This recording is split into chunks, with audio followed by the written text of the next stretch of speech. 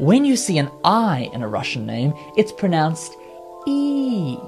E. So it's not Vladimir, it's Vladimir.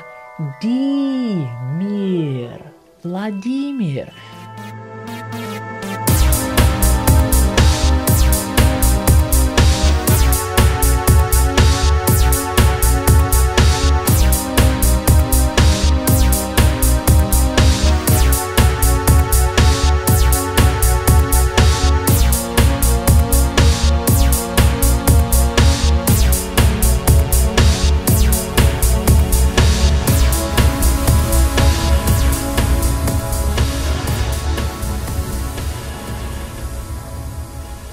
Jeffrey Epstein. I don't know where to start with this really. I mean, he's everything about him so weird. It's almost like a conspiracy theorist made him up. You know, he's this billionaire. He hangs about with all the most rich and powerful and famous people all over the world. He's got this plane that they call the Lolita Express that takes children to be abused on his private island, on which he has built this big, weird looking temple and everything about it's just it's mental, you know. Um, I suppose we'll start with where did his money come from because that's something that's been shrouded in mystery for a long time.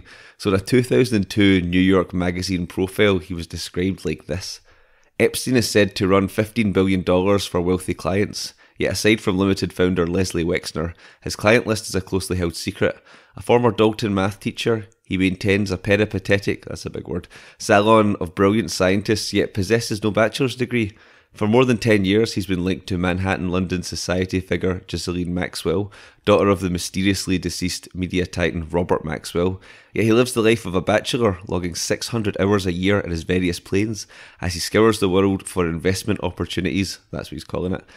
He owns what is said to be Manhattan's largest private house, yet runs his business from a 100 acre private island in St. Thomas. Says another prominent Wall Streeter, he is a mysterious, Gatsby esque figure. He likes people to think that he is very rich and he cultivates this air of aloofness. The whole thing is weird. And the whole thing is weird. So, I mean, this guy basically he drops out of university in 1974. He gets no degree, he becomes a maths and physics teacher in doing this, he meets a parent who is connected with Bear Stearns, who gets him a job at Bear Stearns in 1976. he was just like a low level junior assistant to a floor trader. But in a meteoric rise, a meteoric Epstein esque rise, he he quickly, you know, starts advising the bank's wealthiest clients. And in 1980, just four years after he joins Bear Stearns, he becomes a limited partner. So think about that. In 1974, he's a physics and maths teacher with no degree. And then in 1980, he's a limited partner at Bear Stearns. And I'm not necessarily saying there's anything nefarious about it. It's just, it's weird, man. It's weird that you would go from some complete obscurity to you know that in such a long, such a short period of time. So he was asked to leave Bear Stearns as well in 1981 for some policy violations, which are, from what I can see, not clear. So then in 81, Epstein goes on to found his own consulting firm and he moves on after that. So he described his work at the time as being a high level bounty hunter. He told friends, quote, he worked sometimes as a consultant for governments and the very wealthy to recover embezzled funds, while other times he worked for clients who had embezzled funds. This will come up as well later on, we'll talk about this in more depth, but around this time in the 80s, Jeffrey Epstein would actually straight out tell people that he was an intelligence agent. And apparently, he even had an Austrian passport that had his photo but a different name, and it said his place of residence was in Saudi Arabia. Now, I don't know if he was just doing this for effect, you know, doing it to be a hit with the ladies, if you will, you know, like um, James Bond or whatever, you know, trying to pull that sort of thing. Because, I mean, if you were actually an intelligence agent, I don't imagine you would go about telling people you were an intelligence agent. You know, it just seems kind of, seems like an odd thing to do. And then for years as well, the only person that, or the only client of his, as that quote at the start mentioned, that was public was this guy Les Wexner, and he's behind Victoria's Secret and something called The Limited. Now, this guy Les Wexner, he's never been accused of any wrongdoing. There's never been any evidence of any wrongdoing on his part, and he did break ties with Epstein over a decade ago. So that's kind of important to mention straight away. But What's interesting is apparently in the 90s, Jeffrey Epstein used to pose as a talent scout for Victoria's Secret, and he would do this to lure models and things to hotel rooms and stuff like that. This is what's interesting about the relationship with these two. Historian Vox says Epstein also obtained his Manhattan residence, a seven story, 21,000 square foot mansion that's been called one of the city's largest private homes, through Wexner, who purchased the property in 1989 for 13.2 million, furnished it lavishly, and yet never spent more than two months there. The thing about this was records say that no money was exchanged for the transaction, and some there was some rumor that Epstein only paid like a dollar for it, which would seem weird in the first place. But in this house, a raid by investigators later on, years later, would find hundreds and perhaps thousands of sexually suggestive photographs, including some that appeared to be of underage girls. We'll hear about that again as well. So there's also even questions about whether Epstein is actually even a billionaire, because Forbes has never included Epstein in its rankings of world billionaires, since apparently, according to them, they haven't seen enough proof that he is, in fact, a billionaire. In 2010, Forbes wrote, the guy they freed this week after pleading guilty to soliciting an underage prostitute is, in this bit's all in capitals, not a billionaire. We repeat, not a billionaire. More likely he is worth a fraction of that because of so much uncertainty around his numbers. He's never been included in the Forbes 400 list of the richest Americans. So Forbes weren't buying his bullshit straight away. They went on to say that the source of his wealth, a money management firm in the US Virgin Islands, generates no public records, nor has its client list ever been released. One known client, Leslie Wexner, billionaire founder of the limited clothing chain, was widely believed to be the benefactor for years and the major source of his wealth. At one time, Epstein was listed as a trustee of the Wexner Foundation, and Wexner reportedly bought Epstein a 13 million New York apartment. So apparently, even you know people who represented victims of Epstein found problems with this later on. This guy Spencer Kuvin, who was an attorney who represented three of Epstein's alleged victims, he said it was a bone of contention with Epstein's lawyers in the litigation itself, we were never able to get him to produce verified financial information. The nine figures came up by negotiation. It kept going up and up and up. They started at zero. They wouldn't tell us at all. Some people have said, well, this proves that he's an intelligence agent or something like that. I mean, it could just be thievery, you know, like theft, tax evasion, or whatever, you know, like doing something illegal. And, you know, that's probably why his clients wouldn't want anyone to know about it and why he'd be so secretive. You know what I mean? I kind of don't think, though, for our purposes, I don't think whether he was a millionaire or a billionaire is generally that important, but it could just be one more level of bullshitting because, I mean, I don't know. I don't know what it's like to be in these sort of high powered circles. I mean, maybe if you're someone that's a millionaire, then billionaires think you're scum or something like that. I don't know how it works for these people. What we do know is this guy was a sick fuck. So Epstein is accused of abusing dozens of underage girls about as young as 14. Now, we mentioned the New York home earlier on. At his Palm Beach home, he allegedly had pictures of naked girls all over the walls. Some of these girls actually being his victims. So, I mean, this is some kind of serial killer level stuff here. You know, he's literally surrounding himself with pictures of his victims.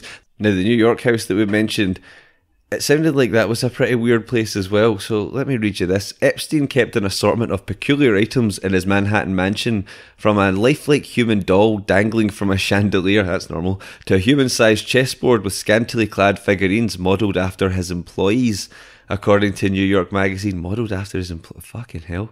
Imagine that you've, you've got a chessboard and on it you've got little scantily clad, I wonder if scantily clad's a broad term, you know, figurines of people that work for you for a start, that's a weird kind of power thing, isn't it? These these little pawns, these literal little pawns that work for you, and you move the pawns, you control the whole game. But then I suppose there's also the possibility that you're going to lose the game. So it goes on to say other oddities include individually framed prosthetic eyeballs he mounted along a hallway. My house isn't even this weird. He kept a prosthetic breasts by a bathtub that he could play with while bathing. Jennifer Araoz, I'm, I'm bad with the pronunciation of all these, but I'll give them a go. A woman who claims she was abused and raped by Epstein when she was just 15 years old told NBC News in a recent interview. She said there was also photos of naked women hanging in a massage room. And naked women, could those naked women be victims of his, from what we've heard, quite possibly? And this is the same house as well, where it's come out there is this weird painting of Bill Clinton in a Monica Lewinsky style blue dress sitting on a chair in the Oval Office. Now, suddenly there's all sorts of theories and stuff about it, but let me read you this about it. The Clinton painting comes from a pair of works by Petrina Ryan Kleid that lightly satirised political figures. Its companion, a painting of George W. Bush called War Games, features the former president sitting on the floor of the White House, playing with paper aeroplanes and two fallen Jenga towers, referencing his manipulation of the attacks of 9 11 to justify the war in Iraq, the defining scandal of Bush's White House tenure. As for Parsing Bill, that's the one we're talking about. The blue dress seems a likely reference to the blue dress that served as evidence in the former president's affair with Monica Lewinsky, the scandal that marked Clinton's time in office. Now, she said, the artist herself, she said, in 2012, as a grad student at the New York Academy of Art, I painted pictures of Presidents Bill Clinton and Bush as part of my master's thesis. When the school put on a fundraiser at the Tribeca Ball that year, they sold my painting to one of the attendees. I had no idea who the buyer was at the time. As with most of my paintings, I completely lost track of this piece when it was sold seven years ago. So it was a complete surprise to me to learn yesterday that it wound up in Epstein's home. I mean, at times I wonder if Jeffrey Epstein did a lot of stuff just so that when conspiracy people came to look into him, or you know, while they were looking into him, that they would have so much to work off of. I don't know. I mean, I kind of get the Bill Clinton painting thing because I mean, because he knows Bill Clinton and he knows people that know Bill Clinton, and these people come to his house, you know, and it's right there. It was right there on display for people to see and it's just it's making fun of him, isn't it? Especially you know in the Monica Lewinsky blue dress and stuff like that. You know, this is something that he's bought for a laugh, and he did all sorts of kind of weird things as well. Like so, apparently one time he sent a guy that worked for him to deliver a dozen roses to an alleged victim of his following her high school drama performance. I mean, is he fucking joking? Some like weird, sick sort of psychopathic trolling that he's up to.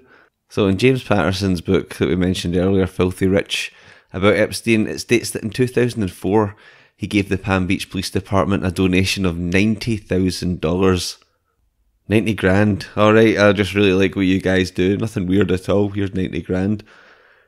So Patterson goes on to say it was generous, even by the generous standards of Palm Beach, and it was earmarked for a firearms simulator. Several months after the start of the department's investigation, Epstein called the police chief and asked if he'd bought the simulator yet. The chief hadn't, and Epstein offered more money to make it happen. At that point, the police figured Epstein knew they were investigating him. So he can obviously see what he's doing there. You know, it doesn't really take Columbo in this case. This is just something Epstein seems to have always done. He always throws money at something. Even the fact that when you know the, a lot of young girls came came forward to accuse him, and what did Epstein do? Epstein hired a bunch of private investigators to go to like their MySpaces of all places and dig up any dirt they could find on these girls. You know, he just throws money and tries to turn the problem round on someone else.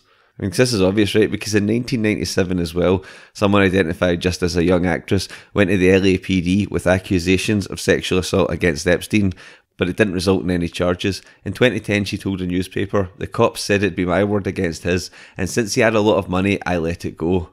See, this is just, he's following this formula for years and years. You know, the rich, powerful guy, I'm above the law, I can do what I like. Because, I mean, it does seem in a lot of ways that rich people seem to be able to do whatever they like. And the thing about this is, just like with Jimmy Savile, people knew about this. I mean, look at some of the comments that were made before. In 2002, Trump said, I've known Jeff for 15 years, terrific guy, he's a lot of fun to be with. It's even said that he likes beautiful women as much as I do, many of them on the young side. Right, and this Vanity Fair columnist, Michelle Wolf, she described flying on his private plane in the 90s. She said she was followed onto the plane by, how shall I say this, three teenage girls, not his daughters, who were 18, 19, 20, who knows, and model like. He has never been secretive about the girls, she said. At one point, when his troubles began, he was talking to me and said, What can I say? I like young girls. I said, Maybe you should say, I like young women. I mean, for starters, that just him catching himself there, like, oh, I like young girls, women. Well, I like young women, of course. But like, that's the thing. See if you had, if like I had a friend, I'm only in my thirties, and Epstein was older than that at this point. But if I had a friend who was going, who was going out with teenagers, regardless of whether I thought that you know he was just he had good intentions or whatever, you would think that something wasn't quite right there. You'd have to intervene. You wouldn't just be like, oh well, he likes them quite young. I mean, who who just says shit like that? So, and apparently, again, if we go into like how weird and sick his mind went, he actually ended up like paying girls to find more girls, and he ended up like just being a financial guy right through and creating this kind of weird sexual pyramid scheme with these girls as well. You know, and obviously he's always saying that he thought they were 18 in that, but I mean, I don't know, you could ask for even a driver's license or something. I don't think they had as, as good a copy as him, and he should be able to tell if it's fake or not if he's Mr. Intelligence Agent. And the thing is, if they're under 18, they can't consent anyway, because he's always saying that, oh, all these girls consented. Well, if they are underage, which it seems like a lot of them were, then they can't consent. And we know as well this is bullshit too, because in the 2019 indictment, it stated that Epstein knew some of the girls were underage because they, quote, expressly told him their age. But the crazy level is yet to go up a notch, and it does, because apparently he, quote, wanted to seed the human race with his DNA by impregnating women at his vast New Mexico ranch. So, yeah, Apparently, his goal was to have 20 women at a time impregnated at his 33,000 square foot Zorro ranch in a tiny town outside Santa Fe. So, how is he going to impregnate 20 women at a time? I assume he's going to he's going to use some kind of machine or something like that. You know, he talked before, and we'll talk about it later, about how he had a biological need for three orgasms a day, he said. So I don't know how he's going to. I mean, is he going to have some kind of? Maybe this is why he had all the friends in science and engineering and things like that because he wanted them to build like an an Epstein style insemination machine or something like that. But I mean, even filling that thing up would be like a lifelong task. I really don't know how he thought he was going to accomplish this at all. There's so many holes in this; it's ridiculous. And then what is he going to do with them as well? Was he just going to then just send them away or just like I don't know, like drop them off out of a car somewhere or something like that? And I mean the the child support the child support would be off the chart. I mean, maybe he wanted to put all of them on one of the islands or something like that. I don't know. It's just it's it's a really kind of weird thing to do. But I think again, this is just another example of the weird narcissism and megalomania that he had. Because I mean, who actually thinks I want to seed the human race with my DNA or some shit like this? And it just goes back to remember the thing about the chessboard with all the half naked versions of people that worked for him. It is just all this extreme narcissism. So apparently, the idea for the baby ranch that he had was based on something called the Repository for Germinal Choice. Now, this was like a sperm bank that was to be stocked with the sperm of Nobel laureates. Um, and it was this kind of eugenic idea, but only one Nobel Prize winner, some guy called William Shockley, actually acknowledged contributing sperm to it other donors apparently there were scientists and academics or something like that. The thing discontinued in 1999, so that didn't work out too well either. I mean, what was even what was even the purpose of it? You know, like was he trying to create a race of I don't know pedophile billionaires or something? Like it's weird. Was it some? I mean, if I say it's some kind of vanity, but what vanity does it possibly really appease? You know what? my sperm was all over the place with all these children I'll never see. I don't I don't get that at all. You know, unless you've got the temple and stuff. Now I don't know if the temple and that was for effect, but maybe, maybe just maybe he believed in some weird shit. And who knows? I mean, there is some lines of thought, some people that believe that reincarnation occurs down family lines and things like that. Maybe he had some kind of weird occult idea of like some kind of, I don't know, some reincarnation or something like that. You never know. I mean, it's entirely possible. Like I said, the temple could just be a troll, it could be real. I'd like to think it was real, but I don't know. At this time as well, he was actually having dinner parties and he was inviting scientists and something like that, and a lot of them like attractive, educated young women.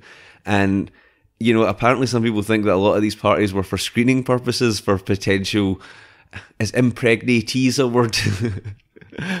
Mothers of his children would probably be the right way to put it. Because that's the thing. I mean, if you're going to, you know, seed the earth with your DNA, you don't want to impregnate just anybody. You want to make sure they're attractive and scientists and stuff like that. You know, he's he's not he's not crazy.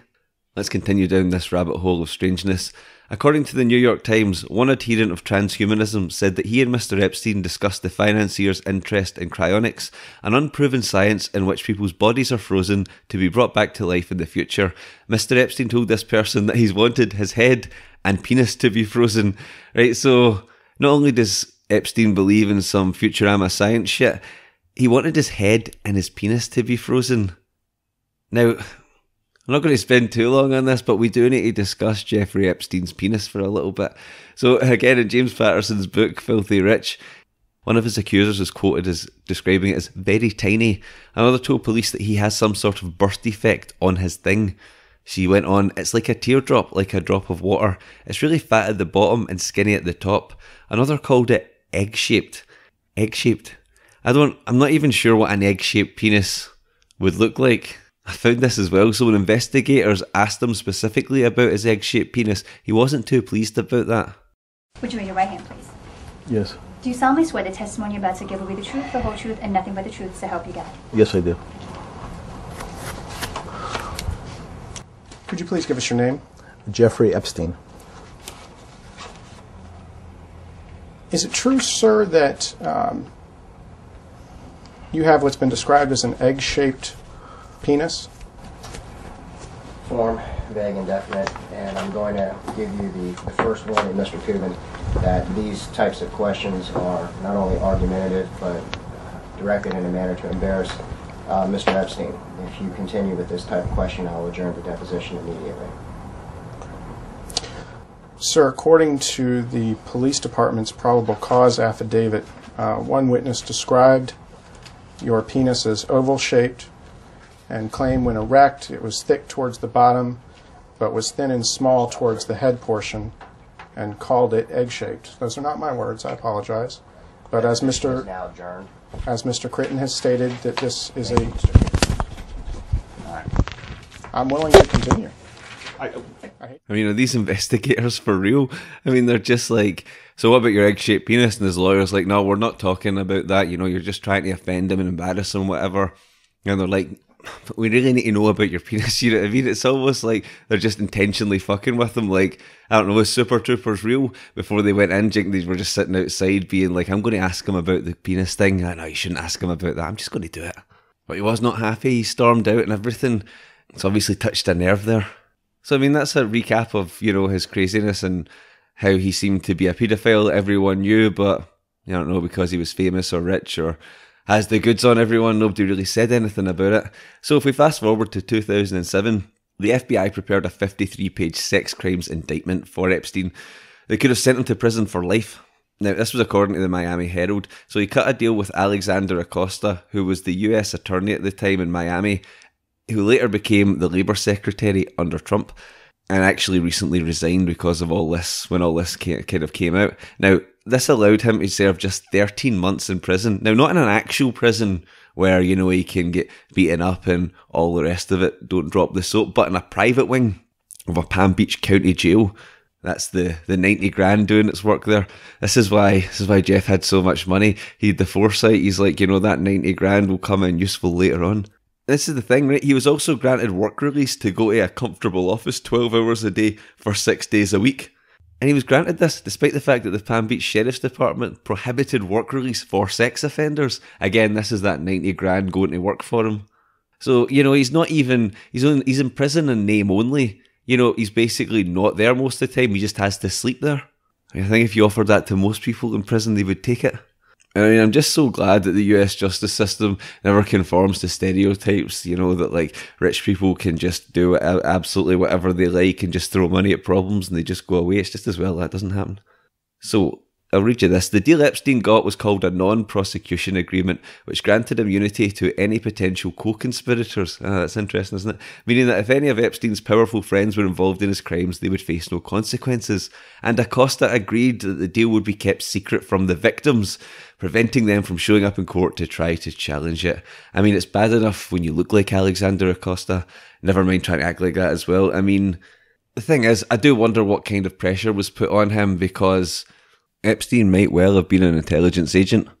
I mean, not only are you letting this guy get away with just effectively sleeping in prison, but actually keeping like victims and their families away from the information. It's just it makes it even worse. Like I can understand being threatened and being scared and all the rest of it, but I don't understand how you can like look yourself in the mirror after all this kind of shit, man. It's just it's really fucked up.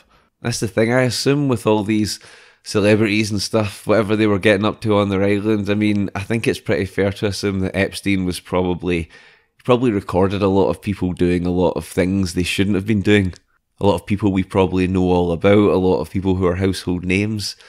And the thing is, I mean, look, he's linked with all sorts of people Donald Trump, Prince Andrew, Bill Clinton, but he always did seem to spend his time cultivating a lot of celebrity friends and stuff like that. And you know, obviously not all of them are going to be paedophiles. That's the thing. So, you know, the problem is just sorting out who was actually, you know, because you can't blame everyone that knew him or hung out with him because, I mean, even though it seemed like a lot of people knew stuff, there was obviously a, a lot of people that would have just known him socially that didn't know anything. So just because just because they were seen with him or something like that, it doesn't necessarily mean that they were in on everything. That's the thing. We'll talk more about this stuff covered out in that and then what happened in a little bit, but everyone's going to have an excuse. You know, Epstein had some interesting excuses as well. Again, in the book Filthy Rich, Patterson writes, It was a message Epstein wanted to send, something central to the case that demanded explanation. The whole shit show surrounding him was just a misunderstanding, a misrepresentation of Epstein's actual interests and intentions. Fronstin, Fronstin is Guy Fronstin, they mean here, who was a lawyer for Jeffrey Epstein, says Mr. Epstein is very passionate about massages and Mr. Epstein had donated over $100,000 to the Ballet of Florida for massages, and the massages are therapeutic and spiritually sound for him. That is why he has so many massages. See, it was all just a misunderstanding. He's not a paedophile, he's not a sexual predator preying on young girls from broken homes who have really no other option. That's not what's going on at all. It's a misunderstanding. He's just a really, really big fan of massages such a big fan of massages that for some reason, I mean, why why does he pay a ballet company all that money for massages? I mean, I don't know as part of a ballerina's training erotic massage therapy. Possibly, I don't know. I mean, I'll probably maybe watch Swan Lake later, but like, I, it's weird, man. You know, and like. He, he expects us to believe this kind of shit. Or you, ah, this is all just one big misunderstanding, man. You don't understand. You just get the wrong end of the stick. That's all. It's like a wee massage, you know. So that was kind of a bit of background. So what happened this time? So in 2019, he was charged with sex trafficking and sex trafficking conspiracy in federal court in New York. Now, if he was convicted of this, he could have faced up to 45 years in prison.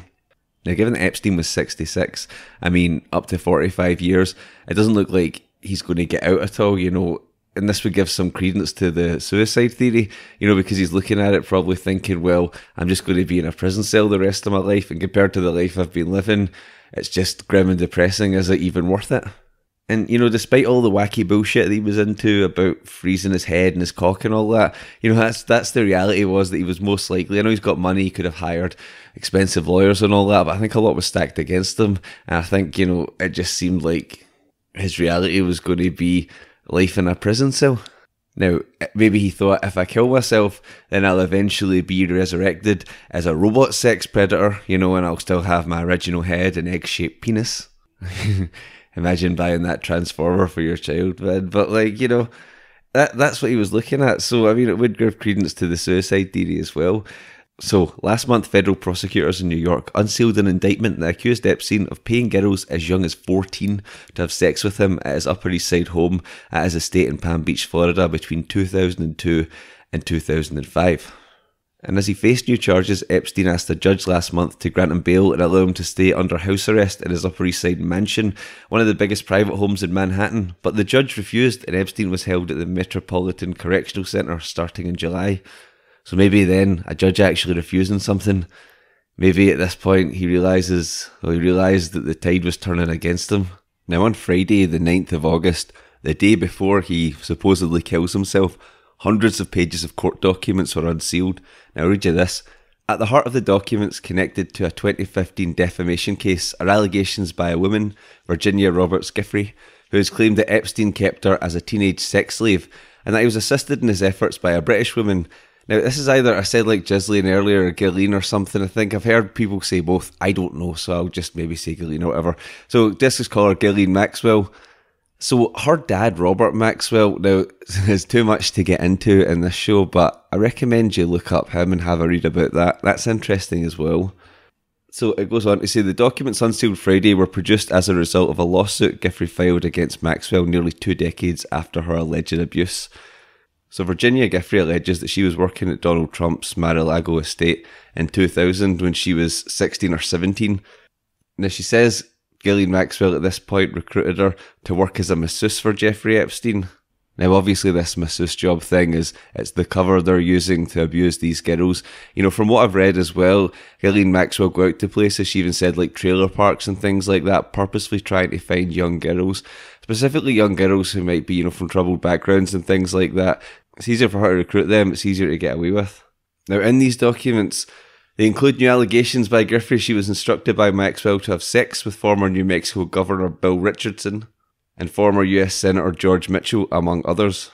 Now, George Mitchell said that this wasn't true, and a spokeswoman for Richardson also said this was completely false. Don't sue me. This is one of the more interesting things in these documents. They include an Amazon receipt recovered from the bins, basically, of Epstein's Palm Beach mansion for books ordered in his name, including SM 101, A Realistic Introduction, Slavecraft, Roadmaps for Erotic Servitude, and Training with Miss Abernathy, a workbook for erotic slaves and their owners. Now, it goes on to say in the documents unsealed Friday, the other woman who alleged abuse at the hands of Epstein and Maxwell also claims she was forced into sexual acts with Prince Andrew at Epstein's Upper East Side mansion, where she said Giuffre participated as well. Actually, Buckingham Palace responded to this, saying that this stuff about Prince Andrew is completely untrue. Interestingly, apparently they don't usually make statements responding to this kind of stuff. So they're really, you know, they're really kind of coming out swinging. It's interesting in the kind of little black book of Epstein's that they've found since his death. There were 16 numbers for Prince Andrew in there, which I mean, I imagine someone having 16 numbers. But then, to be fair, I mean, there's 18 numbers for Fergie in there as well, so I don't really know what that says about the thing about the book they found is, you know, it's just a list of contacts and it's not going to be, again, it's not everyone that's going to be a pedophile in there. So there's this deposition testimony here. Um, again, I don't know how to pronounce this, but we'll go for Soyberg. The Soyberg also testified about sexual acts that occurred with her, Prince Andrew, and Miss Giuffre when she and Maxwell were staying at Epstein's Manhattan mansion. Giuffre's lawyer said this in a document which was filed in January 2017. So Soyberg testified for court documents. I just remember someone suggesting a photo and they told us to get on the couch. And so Andrew and Virginia sat on the couch and they put the puppet, the puppet on her lap. The puppet. Oh yes. And so then I sat on Andrew's lap and I believe on my own volition. And they took the puppet's hand and put it on Virginia's breast. And so Andrew put his on mine. It's kind of disturbing in all sorts of ways, I suppose. So Giuffre's alleged that Epstein began sexually abusing her when she was 16, basically. The documents also contain this photo, which is interesting. There's our boy there, Prince Andrew. Now, apparently, this is inside Ghislaine Maxwell's house in London. So the lawyers said in their papers, this particular photograph corroborates Miss Giuffre's claims that there is no other reasonable explanation why an American child should be in the company of adults not her kin in the London house owned by the girlfriend of a now convicted sex offender. So there's more about this. In another account, the house manager for one of Maxwell's friends testified that he spoke to a 15 year old Swedish girl who said that she'd been held on Epstein's private island. He described the girl as weeping and shaking uncontrollably as she told him that Maxwell had taken her passport and asked her for sex and that she'd been threatened by Epstein and Maxwell. So like they're like holding 15 year old girls hostage, taking her fucking passport. And you're on an island there, what is she meant to do? Swim? And this is just stuff we know about. I mean, this is the thing. I don't want to go kind of too far off the deep end here, but there will be a lot that we're, we won't know about and that we'll never know about either. Okay, another woman described being approached by Maxwell on the campus of her university, Palm Beach Atlantic College, and being offered a job as an assistant she said she answered phones at Epstein and Maxwell's home during her first day on the job. On her second day, she was instructed to massage Epstein. I'm seeing the pattern. He explained to me that, in his opinion, he needed to have three orgasms a day. The woman said it was biological, like eating. So there's that three orgasms a day thing. This is just how they do it. They find people and they're like, look, we'll give you an obscene amount of money to be a billionaire's private masseuse. And I mean, why not? If someone came up to me and said, look, all you need to do is kind of, you know, rub this this old dude with oil and stuff like that, and we'll pay you an obscene amount of money. It would sound fine, but I don't know. I mean, maybe to me, someone saying masseuse, I'm immediately thinking, plus what? Like, is it just massages, or is there, or you know, if someone came up and was like, "Do you want to be my masseuse?" I would assume that they were going to want to fuck me or me to fuck them or something like that. But these are like young girls, you know, and a lot of the times in really troubled backgrounds and things like that. And, you know, they're getting offered something that just probably seems like a miracle to them, or somebody's going to pay me a lot of money. I'm going to get to go to all these beautiful places, hang out with, you know, rich people, celebrities, and all that. And it's got to be better than their life they're living at that point. So, of course, they're going to go for it. I mean, why wouldn't they? And it seems that this is just how they hooked in all these young girls. Yeah, per the document, Maxwell gave Giuffre tickets and hotel reservations to travel to Thailand where Giuffre says she was instructed to meet a specific young girl and bring her back to the US for Epstein and her. Now, apparently, Giuffre also produced records of this hotel stay in Thailand. So, again, this is part of what we talked about kind of at the start this kind of weird sexual pyramid scheme he had going on, you know, where it was different girls recruiting girls, recruiting girls sort of thing. And that's how, as well, he's always got this steady flow of new girls coming in. Now, let's talk a bit about the suicide. So, Epstein was placed on a suicide watch after he was found in his jail cell July 23rd with marks on his neck. It wasn't clear whether those injuries, which were not serious, were self inflicted or the result of an assault.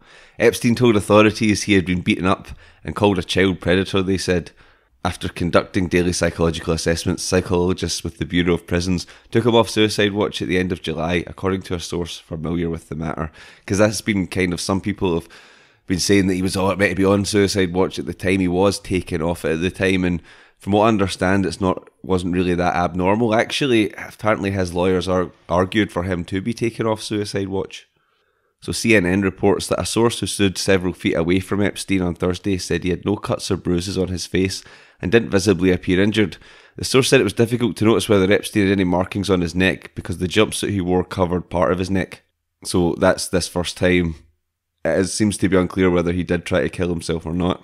Because look, if you were trying to kill yourself and you made an arse of it and it didn't work, you're not going to tell them that's what you did because then you know you know they're going to put you on suicide watch and you're not going to get another chance to have another go at it.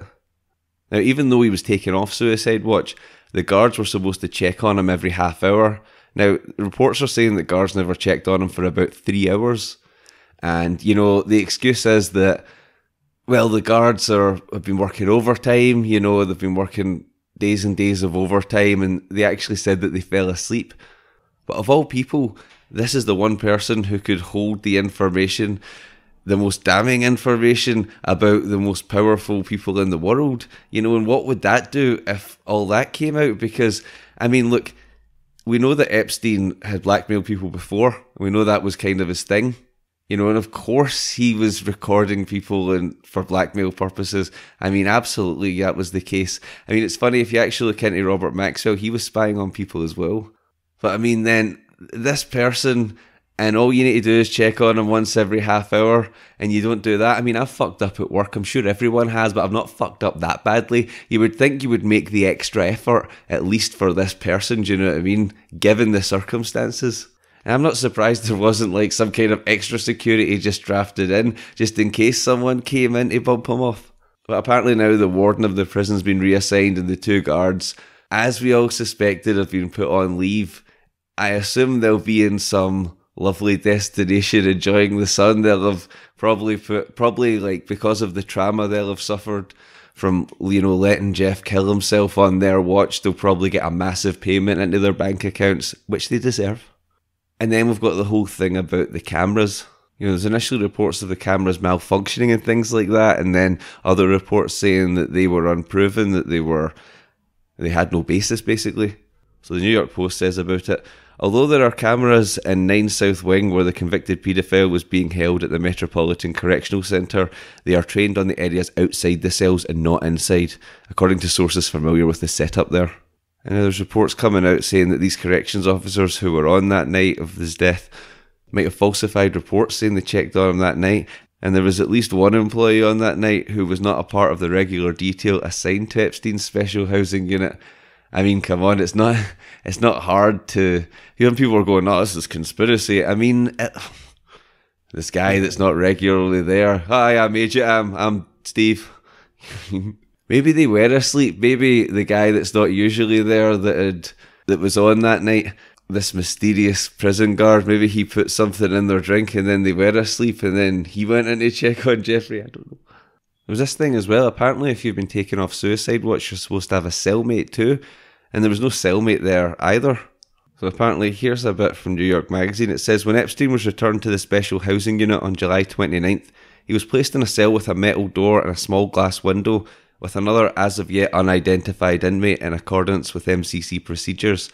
Interestingly, we found out since this was written that that cellmate in question was a former policeman called Joe Tartaglione, who's in jail. He's wound up in a quadruple murder following some kind of what looks like a drug deal gone bad, which is kind of interesting as well. Sometime later, it's not clear yet when, Epstein's cellmate was transferred out of the special housing unit and he was not assigned another cellmate.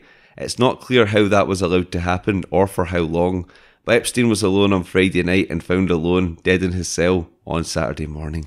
So that's the thing. I mean, look, there is the chance this all could have been a suicide and all this stuff might have just happened. It just might have been the way it happened, you know. And if you knew that for sure, you would just be like, fuck, this is going to look bad, you know, because it does. It looks really bad.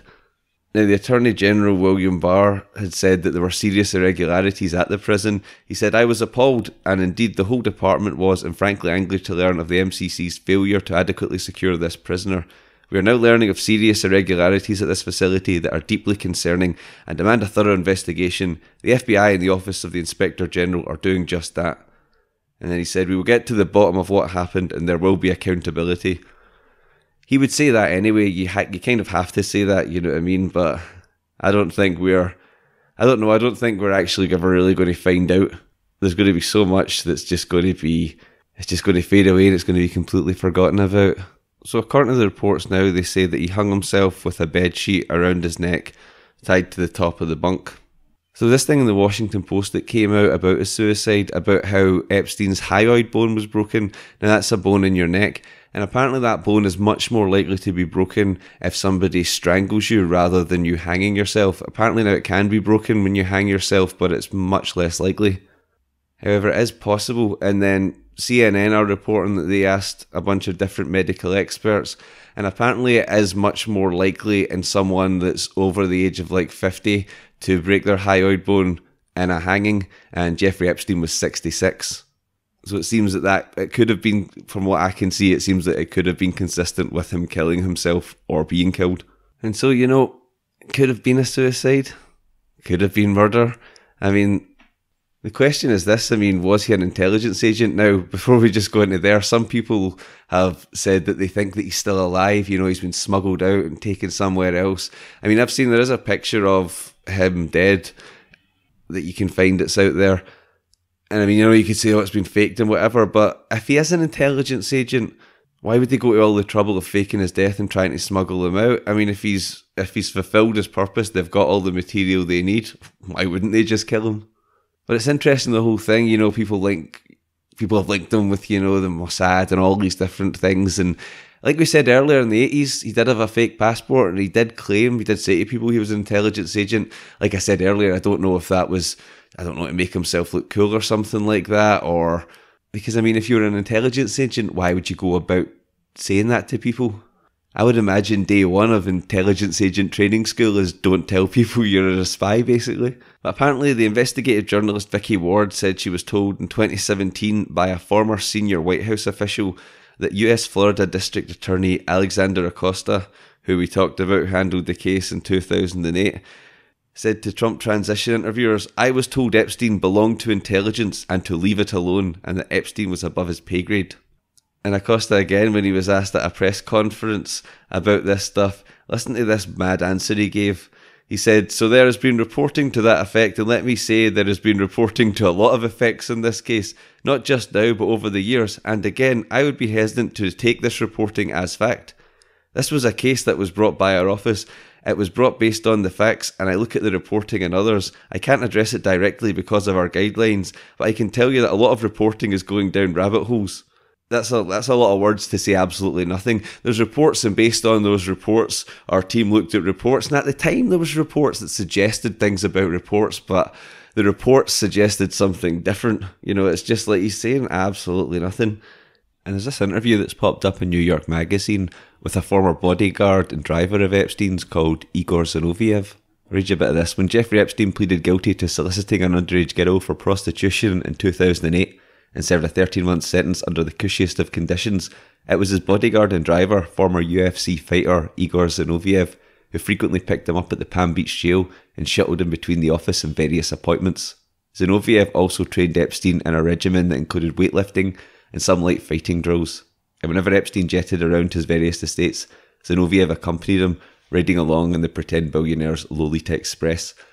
Now, this journalist had interviewed Igor back in 2015, and now has just interviewed him again after, you know, all this supposed suicide and all that. And it's very interesting to see how the story has changed in this time. I'll read you some wee bits of this.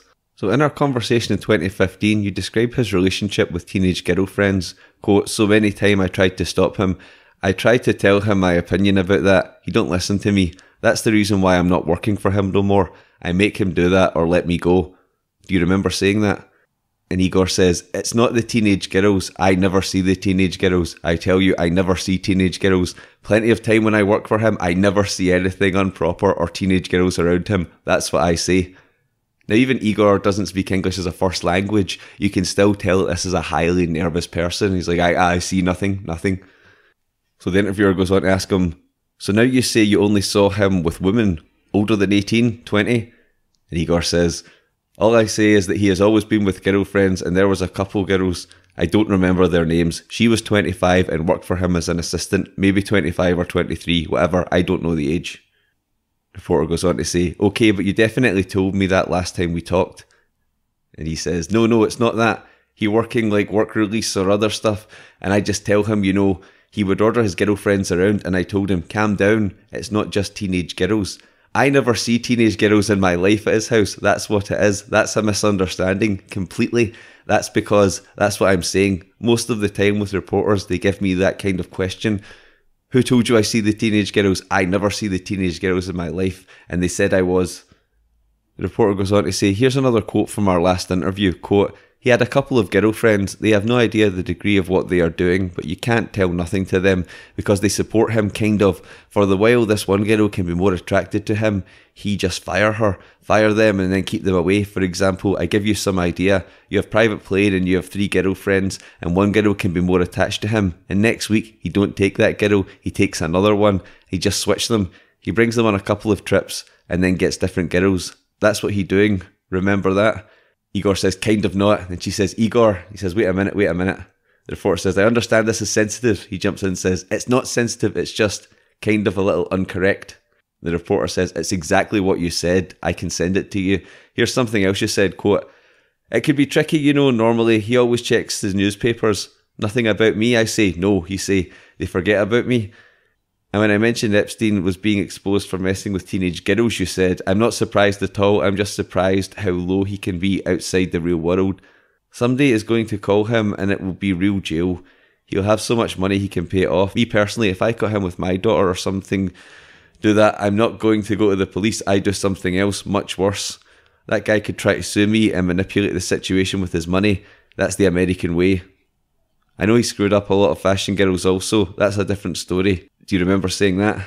He says, I remember one thing I say, like, if I be the father and somebody screw up my daughter, I don't give a shit about how much money they have. I definitely do some bad thing. That's what I said before that stuff. I don't know. I'm just really like, she jumps in and says, Igor, I'm not making stuff up. I was very careful. And he says, I'm really careful too.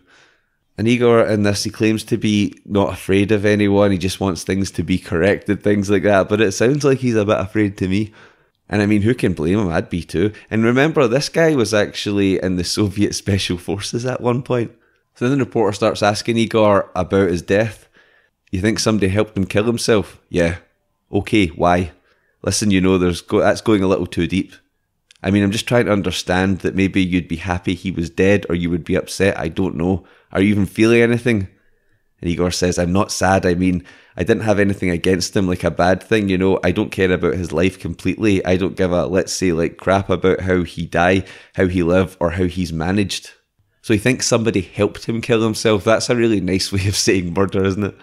Because the only reason you would need somebody to help you is like if you're incapable or you're too scared to like do it yourself.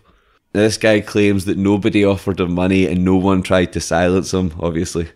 And he does say in this, like he just wants, he just wants out of it. He wants to be left alone. You know, you do get that impression that he's like, look, I have worked for this guy before. Now this is all hitting the fan. Just leave me the fuck out of this completely. Like I won't talk. I won't do it. Just fucking. I don't need money. Just leave me. Or else, you know, somebody, somebody might have, say, put something substantial in his bank account to help him, you know, square this up. The reporter goes on to say, okay, one thing you told me is he got a heads up when the authorities were going to come to his house the night before. Listen, what you say is between you and me. You told me he would get phone calls the night before, and 8 o'clock the police are going to come. he would get a heads up from local police, and then Igor was silent. You told me that, Igor. Want me to read the quote? He says, Well, you can read whatever you want right now. Don't just. You can put yourself in big trouble. And so the reporter goes on to say, You said he always do something wrong. There was some nights in question. There was at home arrest and police before they come to the house. They call them and tell them they're coming at 8 o'clock in the morning. It's all corruption, you know. It's all bullshit.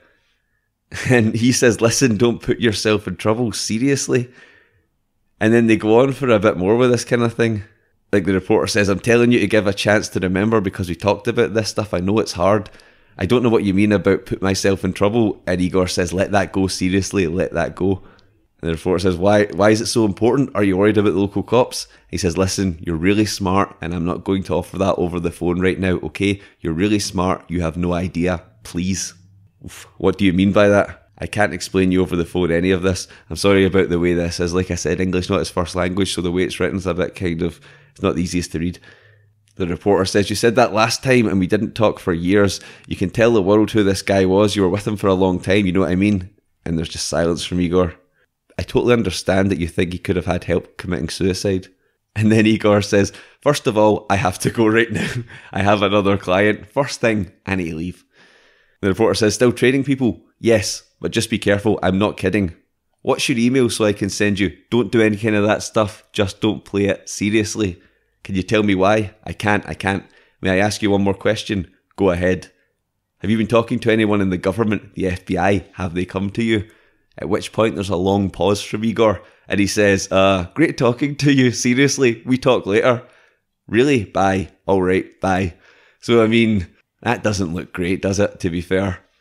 You know, and in a way, you can kind of be like, this must be. I mean, well, for a start, I was going to say, you kind of feel sorry for him because, you know, maybe he was just looking for a job and this job paid well and stuff like that. But I mean, if he was that close to Epstein, he must have been quite, he must have known exactly what was going on. And then he still stayed with him for like five or six years. So, you know, given that, I'm kind of like, fuck this guy. But yeah, you can tell he's really fucking worried, man. That is like, I mean, no wonder.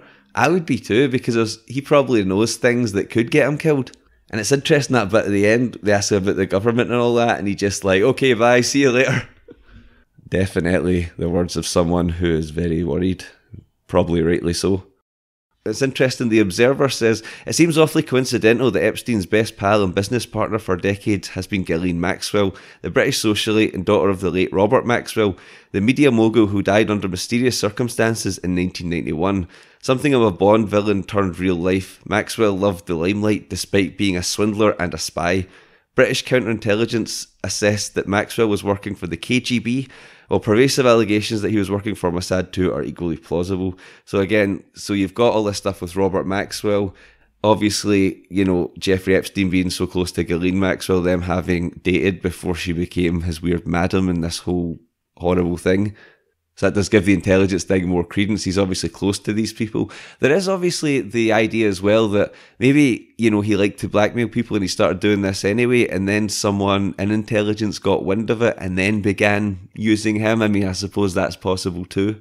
Because, I mean, think about it. If you were in intelligence and you found out that this guy had all this, you know, evidence of all these powerful, famous people having sex with these underage girls and even had video or something of it, you know, of course you would want that information because think of how much power that information would give you.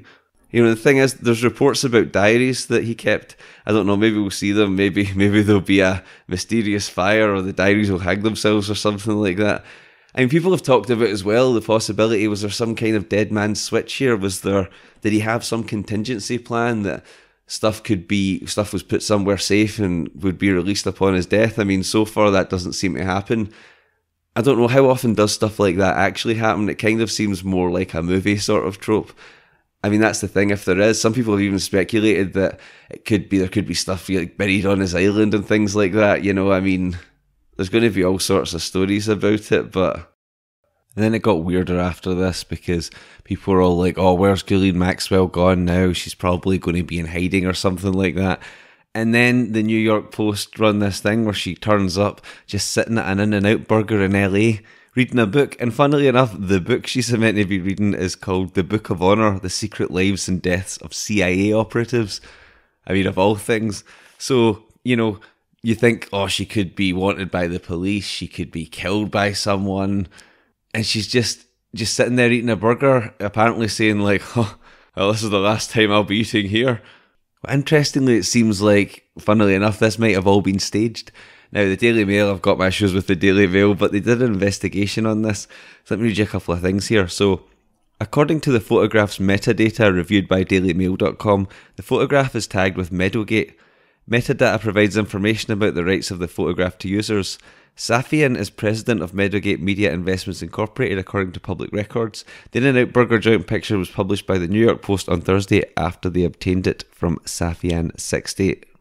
Now, the Safian they're talking about is Lee Safian, who is Ghislaine's friend and attorney. So the Mail report goes on to even say that it might be photoshopped. It says the Mail on Sunday reported this weekend that one of America's biggest outdoor advertising companies alleged that at least one photo of Maxwell had been altered. Behind Maxwell can be seen a bus shelter displaying an ad for the movie Good Boys, which opened in the US this past Friday. There's only one problem. That particular bus shelter has displayed a poster advertising the Providence St Joseph's Medical Centre since July 28th and continues to do so, according to an Outfront media spokeswoman Carly Zip. We think it was Photoshop, says Zip in New York. We don't have any records of this, talking about the poster being posted here. I mean, that's just fucking. It's crazy, man. Do you know what I mean? Like, that not only might this be some kind of thing like for her appearance and stuff like that, but also doing advertising at the same time. If this is true, I mean that is that's the world we're living in just now. That is the reality of what's going on. And from what I can see as well, the victims are bringing a civil suit against Epstein's estate and Maxwell too. But you know, it's in the news now, and people are talking about it.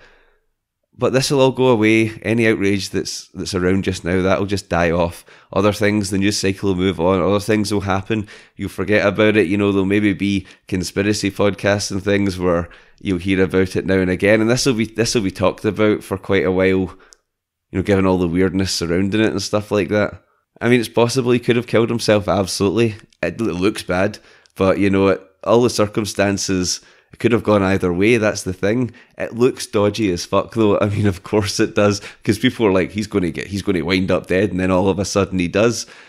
Like I said, I mean, you're you're him. You're that age. You're going to be facing. I mean, I mean, you couldn't really see him getting out of this one at this point. It seemed like he'd fulfilled his purpose at this stage so he's going to be spending what the rest of his existence in a prison cell. It doesn't strike me as something that a jet setting millionaire would want to be doing. So, I mean, it's entirely possible that he could have killed himself. You know, such a weird guy. He had this, obviously, this real God complex. You know, we talked about wanting to seed the human race and all this kind of thing. And even to the, the weird chessboard with the scantily clad employees as the pieces on it. You know, so much, so bizarre, man. But yeah, people forget about this, you know people will just go back to their Netflix, their Amazon, and their Uber Eats, and they won't worry about what all these, you know, what all these rich, powerful people, these celebrities that are making these decisions that they see on TV all the time. They won't wonder what they've done. They'll just let it go. As and this is what will always happen, you know. And what about the victims? What are their names? You know, I bet you most people, well, they know all this salacious stuff of people that hung about with Jeffrey Epstein. They might not know about the people that were abused. They probably don't know about any of them. For example, one woman who said that Epstein molested her, she was found dead of a heroin overdose last year, leaving behind a young son. Courtney Wild, she was a 14 year old middle school student and cheerleading captain. When she met Jeffrey, she later became addicted to drugs and served three years in prison on drugs charges. 32 year old Jennifer Araoz said in an interview with NBC's Today, I said this earlier, he raped me, he forcefully raped me. So that's the, you know, the consent thing again going out the window. Wonder if the agent that finished Jeff off asked for his consent first. But that's the thing, those people I mentioned, just a tiny, tiny drop in the ocean of victims that probably we'll never ever hear about, you know, and you can say, oh, well, that's over now. It's never over for these girls. Look at what's happening. I don't think they would be, you know, like into all these drugs and things like that, ending up in prison and stuff. What's happened to them has completely destroyed their lives and most likely the lives of a lot of people around them. Well, like I said, you know, the outrage, it'll die down. People forget about it. They'll never question who was there, what they were doing, what evidence might exist. That'll all just be forgotten about. Looks like a lot of people might have dodged a bullet there. You know, it's interesting to think as well because if he was some kind of intelligence agent, it's a very Faustian sort of story. You know, this guy who sells his soul to the devil, or obviously in Jeff's case, an intelligence agency, you know, in exchange for a life of, you know, partying and jet setting and all the rest of it. There's a point when the party's well and truly over and you're alone in a cold, dark cell, and then the devil comes looking for you.